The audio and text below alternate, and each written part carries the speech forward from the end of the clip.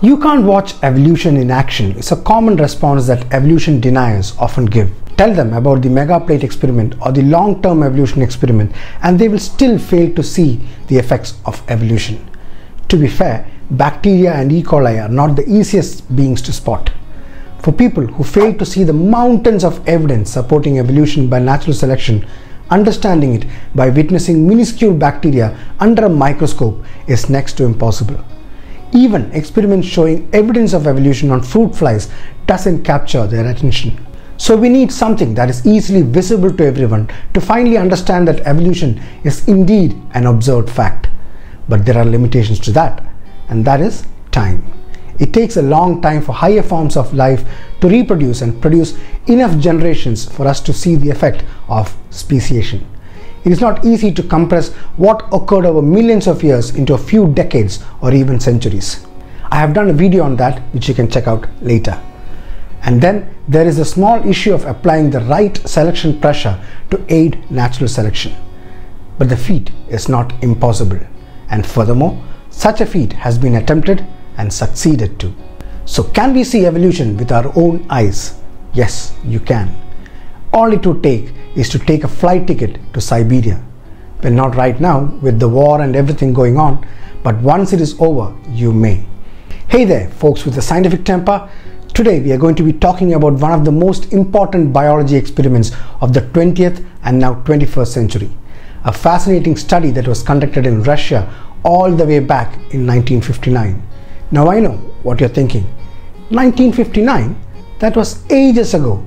What is so interesting about some old study?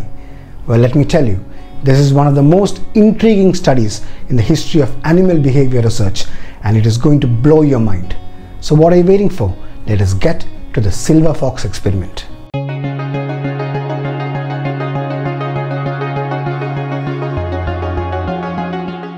Domesticated animals such as dogs, cats, cows, sheep, and so on play an important role in human life. Ever since Darwin wrote his 1868 book, The Variation of Animals and Plants Under Domestication, evolutionary biologists and animal behaviorists have been fascinated with how, starting at least 15,000 years ago and perhaps even longer than that, our ancestors began domesticating animals. Fossil evidence can provide some clues about when and where the domestication had occurred, as well as some information on the stages of change in animals during domestication. But it can't tell scientists how domestication got started in the first place. How had wild animals who are averse to human contact become calm enough for our ancestors to have started breeding them? To answer that question, the silver fox domestication experiment began in 1959 at the Institute of Cytology and Genetics in Novosibirsk, Russia, and continues to this day. It is widely regarded as one of the most important long term experiments ever conducted in biology. The silver fox experiment was conducted by a guy named Dmitry Belyaev, who was a Russian geneticist. Belyaev was a student at the Ivanovo Agricultural Academy in Moscow and in the 1940s he worked as a researcher at the Institute of Fur Breeding Animals in the same city. He was fascinated by Darwin's book The Variation of Animals and Plants Under Domestication. The problem of the origin of domestic animals and plants and the means by which they were produced along human history were of deep interest to Charles Darwin, who considered domestic breeding one grand experiment in evolution. In his book, he elaborated an analogy between artificial selection, the method by which breeders obtained desired characters in domestic species, and natural selection, the powerful force driving evolution in nature. So, what is domestication? Is it the same thing as taming animals? Darwin was perfectly aware that domestication was a very different thing than taming. For example, Asian elephants have been tamed for millennia but never became a domestic species. Cats and dogs, on the other hand, have been domesticated. Domestication involves the formation of a symbiotic relationship between man and other animals. The process of animal domestication involves adaptation, in particular, adaptation to man and the environment that he provides. A domestic animal in its most developed form shows four main characteristics. One, its breeding is under human control. 2. It provides a product or service useful to humans like milk from cows or affection from dogs. 3. It is tame. And 4. It has been selected away from its wild ancestors. Domesticated animals and plants have accompanied humans since at least 13,000 to 15,000 years ago, and the dog was probably the first domestic animal. With the information from Darwin's book and from his own experience of breeding, Belyaev was well aware that many domesticated species share a lot of common traits. This includes facial and body features, reduced stress hormone levels, floppy ears, mottled fur, and short curly tails. Today, these traits are known as a domestication syndrome. Belyaev was interested in why the domestication syndrome exists. Humans domesticated animals for many reasons, but regardless of what they are domesticated for, like transportation, food, companionship, or protection, domesticated animals over time begin to accumulate traits in the domestication syndrome. Why?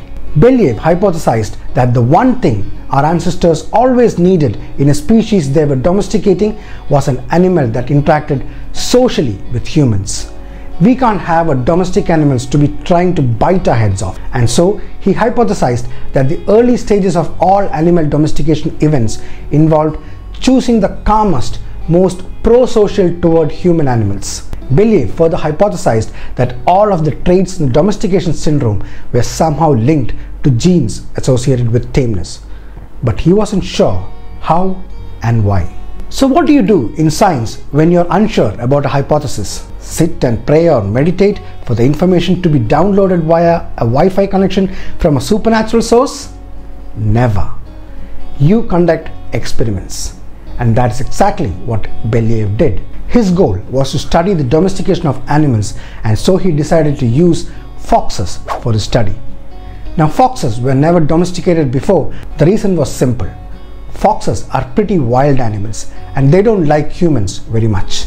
So they were a perfect test subject if you want to try domesticating them. Belyaev chose the silver fox, a variant of the red fox, for his study. Belyaev also recruited 25-year-old Lyudmila Trut to his team. Trut quickly became the lead researcher on the experiment, working with Belyaev on every aspect from the conceptual to the practical. The experiment wasn't easy. For one, the fox species are hard to domesticate. They were ready to bite the experimenters if they could get a chance. And they would not breed easily in cages. So Trut went around fur farms and started collecting the tamest foxes. They began with 30 male foxes and 100 vixens, most of them from a commercial fur farm in Estonia. From the beginning, Belyaev chose foxes solely for tameness, allowing only a tiny percentage of male offspring and a slightly larger percentage of females to breed. Every generation, he and his team would test hundreds of foxes and the top 10% of the tamest would be selected to parent the next generation. They developed a scale for scoring tameness and how a fox scored on the scale was the sole criteria for selecting foxes to parent the next generation. The foxes were not trained in order to ensure that the tameness was a result of genetic selection and not of environmental influences. For the same reason, they spent most of their lives in cages and were permitted only brief encounters with human beings. They decided they would always approach the foxes slowly opening the cages slowly and reaching into it slowly with some food held in a gloved hand. When they did, some of the foxes lunged at them. Most of them backed away and snarled. So Belyaev came up with a plan to make them more friendly and less aggressive towards humans. He started by taking a group of foxes and selecting the ones that were the least aggressive towards humans. He then bred those foxes with each other and continued doing this for several generations. When a pup is one month old, an experimenter offers it food from his hand while trying to stroke and handle the pup. The pups are tested twice, once in a cage and once while moving freely with other pups in an enclosure where they can choose to make contact either with the human experimenter or with another pup. The test was repeated monthly until the pups are 6 or 7 months old. At the age of 7 or 8 months, the pups were given a tameness score and placed in one of three groups. The least domesticated in one group and those that allow humans to pet and handle them but were not very friendly in a second group. The third group contained foxes that are friendly with humans. At first, the foxes were just less aggressive towards humans. They were calmer and more docile than their wild counterparts, but they still weren't exactly cuddly pets. However, As the experiment continued, something really strange started to happen. The foxes started to become more and more friendly towards humans and they even started to display some behaviors that you would normally associate with dogs and cats. After only six generations, Belyaev and his team had to add another category which comprised of the domesticated elite, foxes which are eager to establish human contact, whimpering to attract attention and sniffing and licking experimenters like dogs. But here is where the experiment gets really interesting. As the foxes became more friendly towards humans, they also started to display some really weird behaviors. For example, some of the foxes started wagging their tails when they saw humans, just like dogs do. And some of them even started to seek out human attention, just like a cat or dog would. Some of them started to bark some of them even started to pant like they were overheating or something. It is almost like they were trying to imitate dogs, or maybe they just forgot that they were foxes. And if you thought that was weird, wait until you hear about the physical changes that happened to the foxes. Over time, the foxes started to change in appearance. They developed floppier ears, shorter tails, and even started to change color. They went from being mostly silver to having black and white spots just like some dog breeds. After 8 to 10 generations, the tame foxes began to develop multicolored coats, a trait found more in domesticated animals than in wild ones. This was followed by the development of floppy ears and rolled tails similar to those in some breeds of dog. After 15 to 20 generations, a very small percentage of the tame foxes developed shorter tails and legs. They even lost their musky fox smell. Belyaev's hypothesis was being proved right. The foxes were evolving right in front of our eyes. But the changes weren't just physical. The domesticated foxes also showed changes in their behavior, temperament, and even in their hormone levels. The first physiological change detected in the tame foxes was a lower adrenaline level. Then they noticed a higher serotonin level. They became much more like domesticated cats in terms of their ability to bond with humans and their willingness to follow commands. Although they couldn't understand the difference in commands like no and yes, they still knew that they were being told something. Cats, even today, find it difficult to decipher commands compared to dogs. So you could say the foxes were more cat like than dogs when it came to communication. It's almost like the experiment had somehow unlocked a genetic blueprint for domestication that was hidden inside these wild animals all along. Trut wrote in 1999 that after 40 years of the experiment and the breeding of 45,000 foxes over 30 to 35 generations, a group of animals had emerged that were as tame and as eager to please as a dog. Some of them even loved to get their belly rubbed. Some of the foxes had been trained to fetch and sit. So what did the experiment show? It showed that selecting for a single behavioral characteristics, allowing only the tamest, least fearful individuals to breed, resulted in changes not only in behavior but also in anatomical and physiological changes that were not directly controlled. The inability of wild animals to pick up human signals is caused by their fear of humans. While Belyaev and his team didn't select for a smarter fox but for a nice fox, they ended up getting a smart fox. Darwin was right.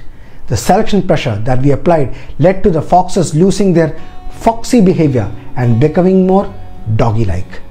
I find it an interesting project to understand domestication of wild animals and the evolutionary process of natural selection when selective pressures are applied to animals. If we can do it in a matter of few decades, can you imagine what can be achieved naturally in 3.5 billion years when nature applies several selection pressures amongst the animals and plants? Do you want a more direct evidence that evolution is in fact a scientific fact?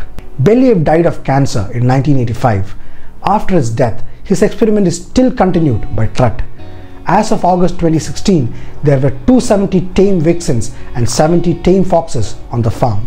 Who knows, as the years pass, they might be successful in creating a new species, one which is neither similar to the wild fox nor looks like the tame dogs. And then all of the evolution deniers can sit and moan, evolution is just a theory. So there you have it folks, the silver fox experiment.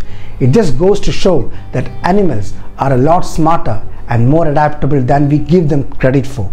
And who knows, maybe one day we'll be able to domesticate foxes just like we did with dogs and cats. We may have found a new best friend for humans. Imagine a world where you can walk your pet fox down the street or have a cuddly little fox curled up on your lap while you watch TV. It's a wild idea, but hey, stranger things have happened. I am for the time being happy and content with my two cats. Thanks for watching and don't forget to subscribe for more fascinating videos. Let me know in the comments if this information was new to you. You can support me by clicking on the super thanks button or through the buy me a coffee link which you can find in the description. I shall be back soon with another interesting video. Until then, it's bye bye from Pale Blue Thoughts.